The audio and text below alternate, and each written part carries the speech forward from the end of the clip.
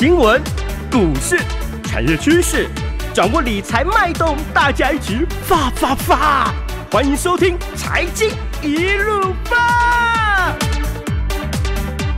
九八新闻台 FM 九八点一财经一路发，我是阮木华。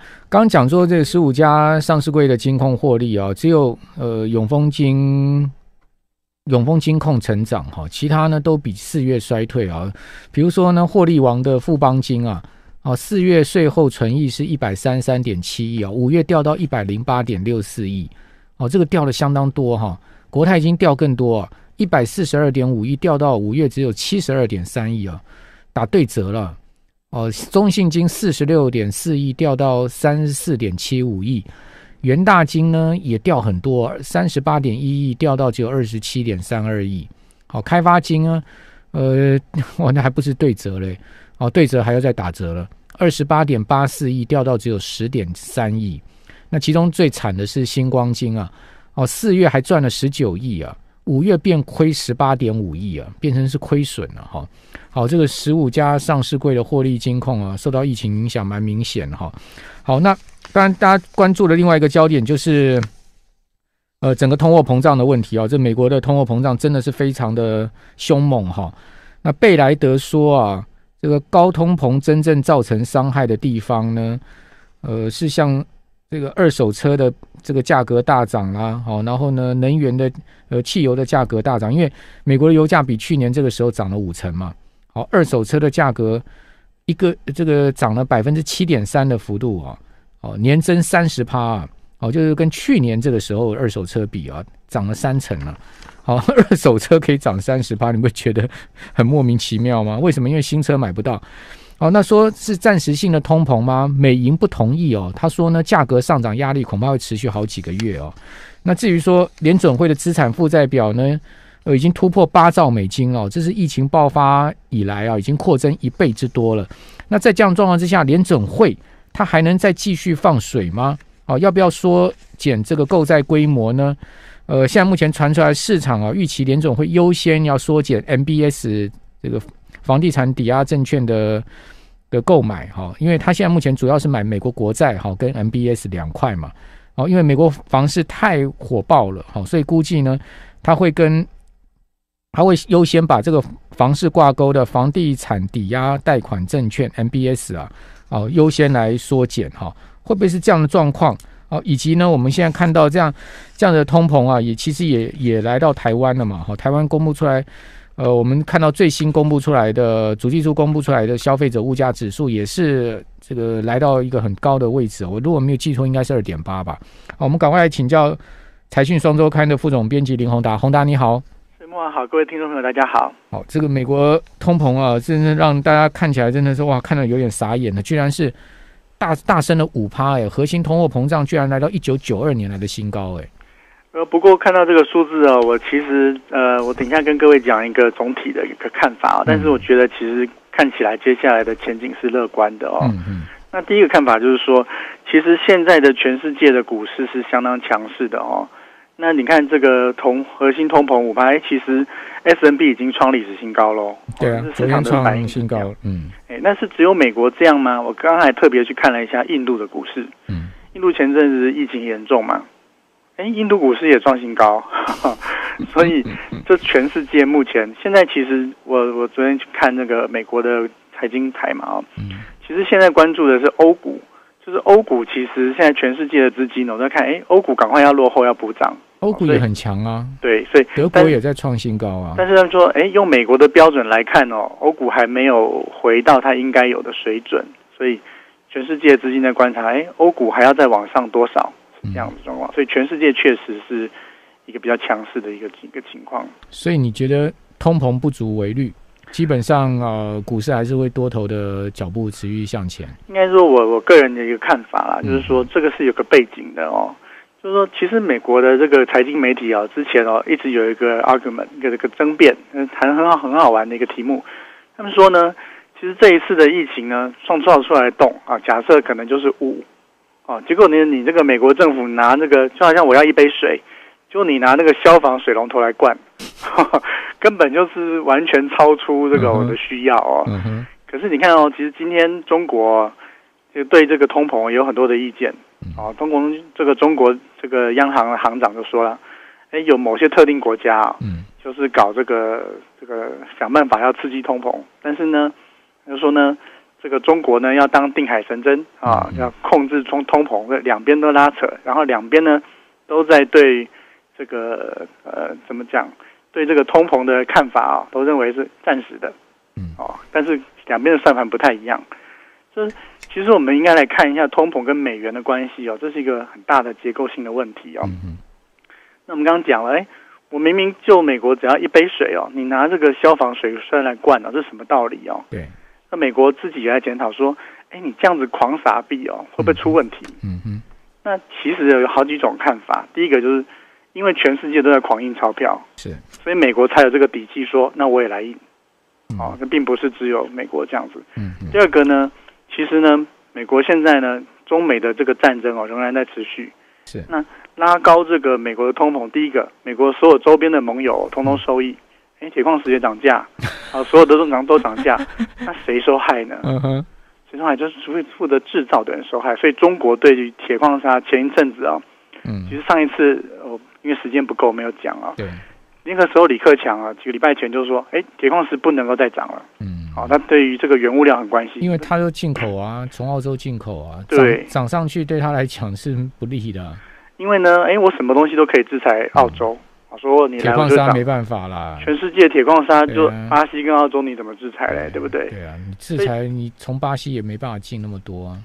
那另外一个就是，哎，对美国来讲，我如果最近的美元都相当的弱势嘛，哦，然后弱势币就被逼的升值啊。都被升变逼的升值，然后呢，弱势的美元呢，造就了原物料的超强行情，嗯所以呢，这其实是国家的力量造出来的。嗯，那可是美国为什么要创造这个通膨呢？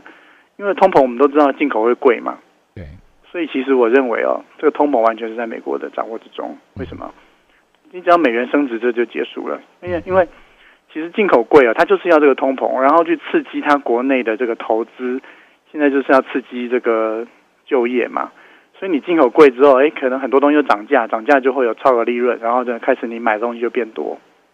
哦，我觉得它是其实是要，因为同时也发钱，嗯所以他不用担心说内需因为这样而萎缩。我们现在看到的状况都是美国内需是非常火爆的，这跟这个美美元的弱势哦，还有这个通膨的状况，刚好是呈现一个相当大的反差。所以你其实你你刚讲这一段跟我的想法也是一样。嗯，美国就是掌握了全球的，掌握人的优势，掌握了一个终极武器，就是美元嘛。所以这个这是 货币战。全世界都要用美元嘛，那那发钞权在我手上嘛。所以我我我要发多少就是随我高兴嘛。你刚像我刚刚讲说，你看联准会去年那时候才四兆不到，现在已经到八兆的资产负债表，可能后面还要扩张到十几兆了，对不对？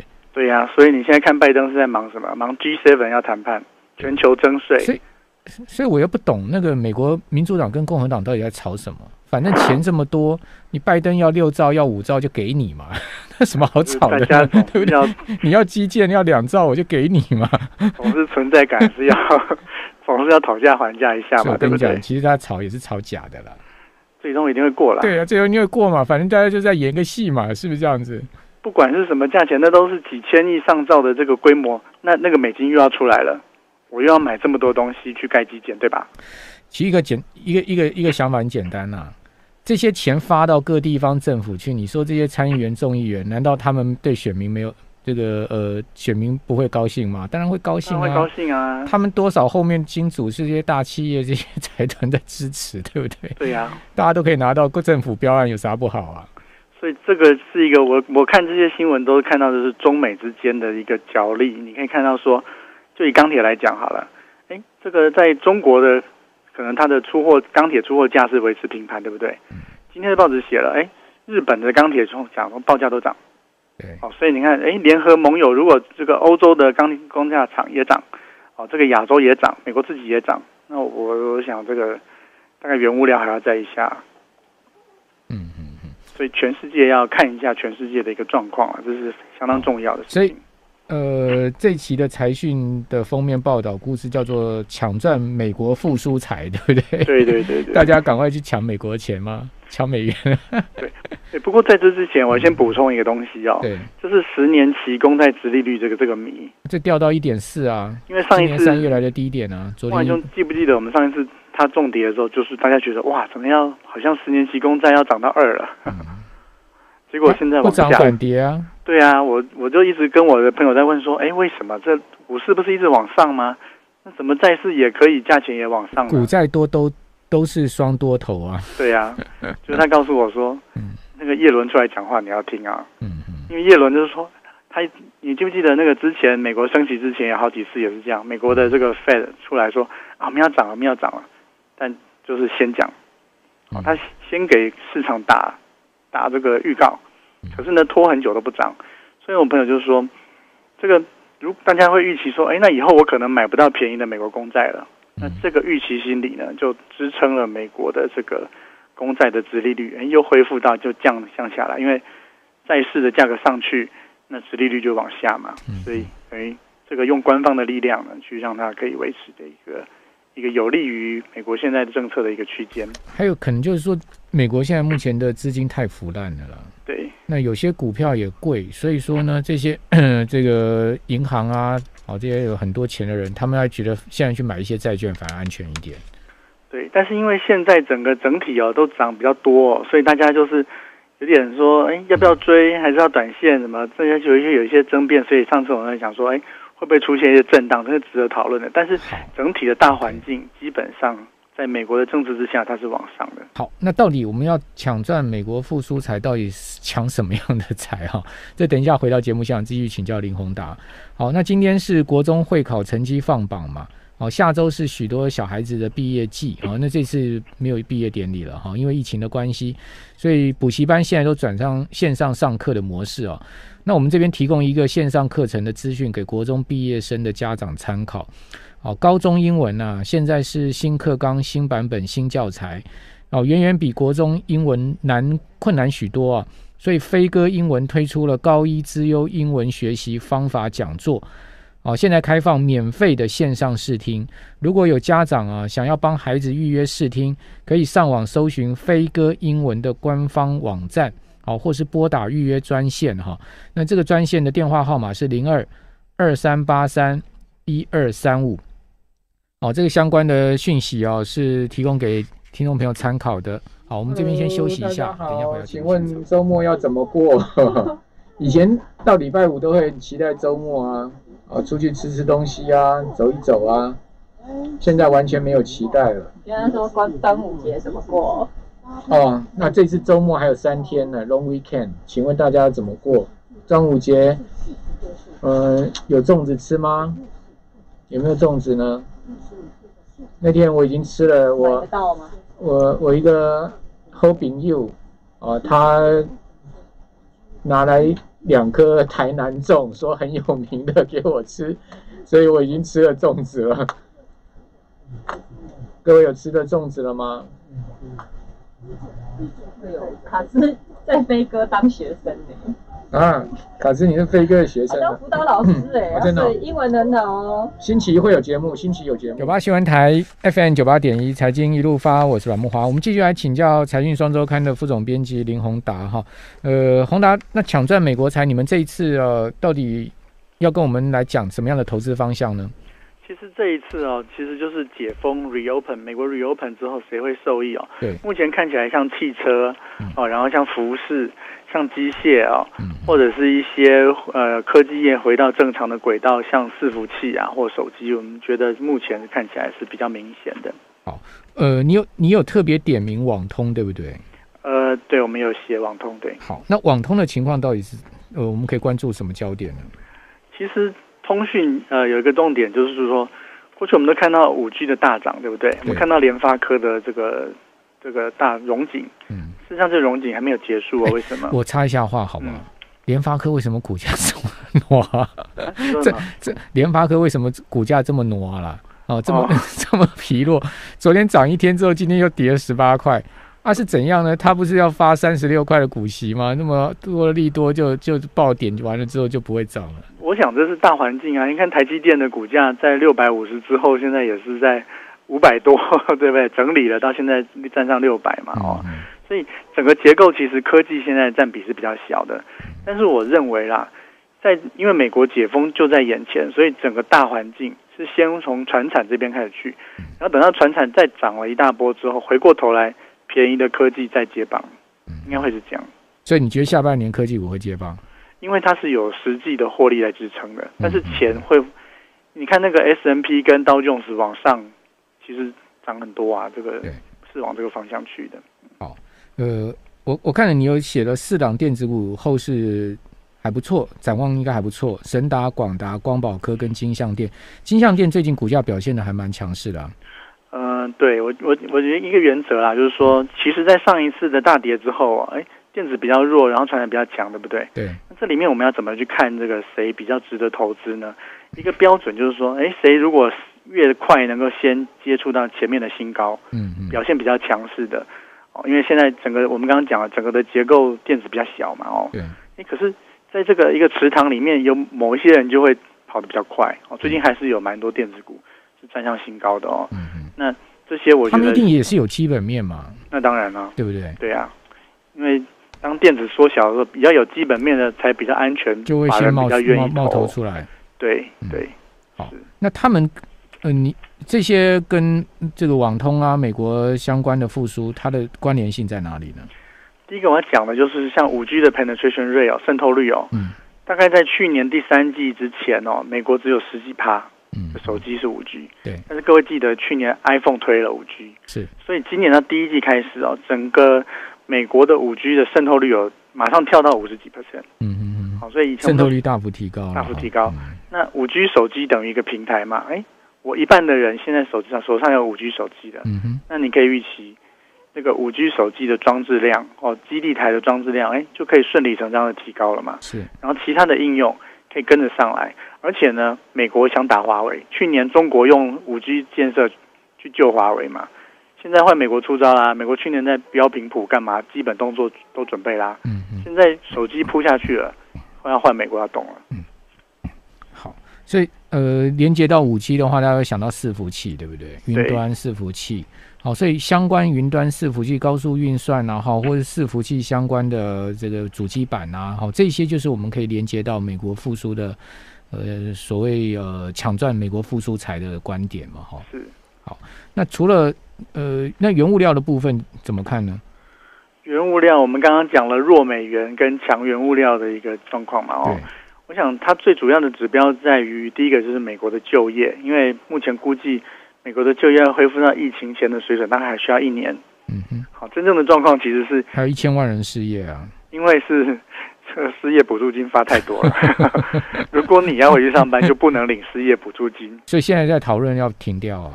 啊，对呀、但是、嗯但是大家手上都有现金的时候，消费就会比较好。嗯嗯，那很好玩，就是说你如果回去上班，你会领的比你失业补助金还少，那时候你要不要回去上班？对，所以才会这样子。嗯嗯嗯。对，好，所以呃，原物料点名了六档受惠股，嗯，对，我想在这个很多了哦，这个像这个呃石油啊、钢铁啊，我想这些都会受惠。嗯，好。那另外电动车，我看到你们也有写到嘛，哈，跟充电桩啊，还有户外运动这一块，也是美国复苏很重要的，呃，台湾可以进攻的题材是吗？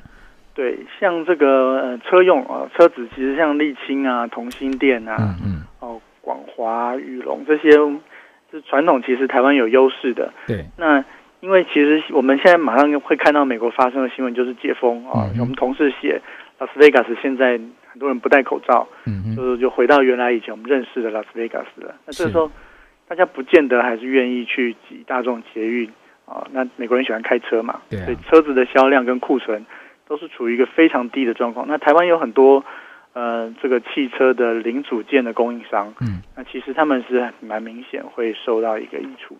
好。那现在当然另外一个焦点就是货柜航运嘛，哈，对呃，因为出口好，好势必就是货柜航运一定会好。对。哦，那您怎么看这一块呢？其实我们也，我今天也在看那个马士基全球最大的航运龙头的这个股价，啊、因为有其实出乎我意料，它还在创新高。不过它涨幅没有像长隆、阳明这么大了。嗯，对对，但是这个这个状况，呃，我们还是先看一下国外的指标嘛，哦，嗯嗯啊，所以在这个状况底下，其实它还是在处于一个这样的状况。对，那运价仍然是处在一个高档，但是当然高的时候，大家会担心它会不会反转啊、嗯但是这个你就可以去看啊，比如说库存的状况啊，库存水位的状况。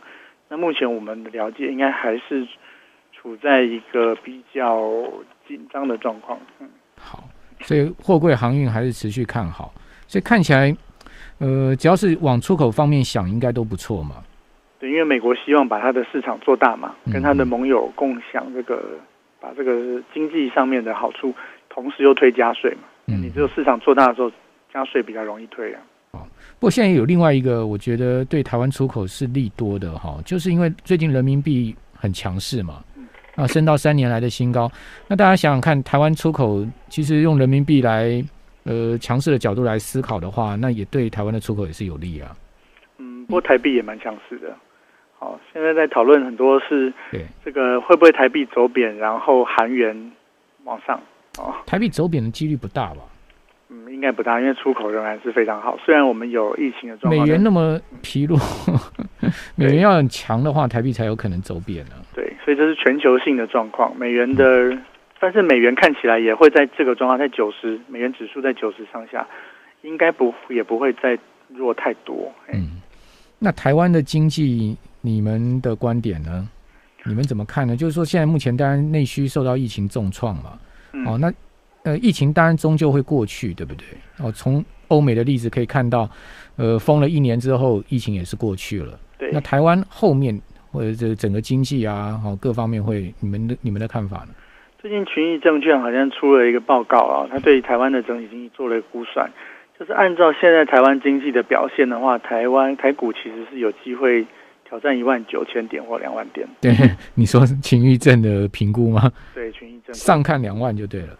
呃，就是从基本面从获利啊，嗯嗯就是最近不是公布了这个呃企业的获利状况嘛？对，大部分的公司如果是出口导向，基本上都是交出不错成绩单的。嗯嗯。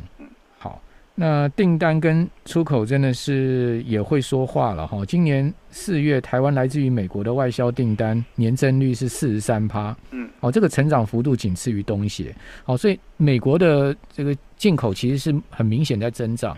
那这个对台湾来讲哦，台湾的出口厂商来讲，当然可以呃好好去琢磨美国这一次的整个经济的复苏。嗯，好我觉得像那个去做沃尔玛啊、Target 啊，好，或者是说做呃 Home Depot 啊，好这些生意的这些大的一个出口商、贸易商，应该在这一波上面应该可以大展身手吧。不过现在大家最头痛的应该是找不到货柜，对，玫瑰呃玫瑰想要出也出不了啊。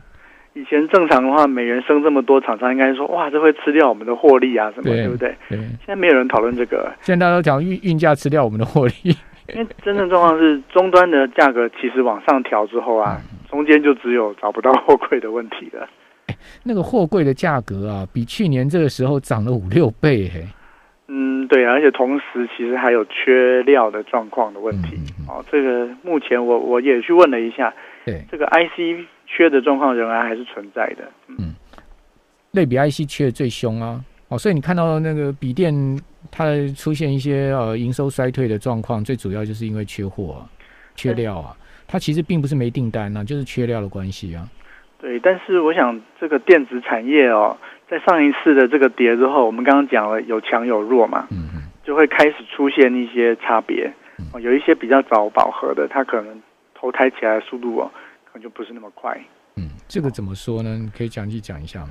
其实我觉得在电子这边哦，最重要观察的倒就不是缺料了，而是呢终端市场的的问题。嗯因为我们刚刚讲了价格会往上嘛，所以价格往上后，如果订单是往下的，那其实马上就解决缺料了。就是其实如果订单变少，嗯，好，或者是说，哎，该买的买完了，好，那不代表说整个电子就不好，而是说可能会换价格往上上涨不动了就对了，然后就就砍单了。价价格往上就被砍单的意思就对了。对，所以这个是我们在观察那。现现在比较明显出现在什么样的领域呢？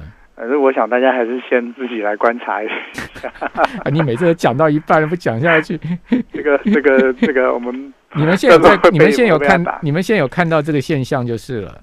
呃，现在大家业界讨论这个面板是这样的一个会状况嘛？因为现在面板的报价就已经上不去了。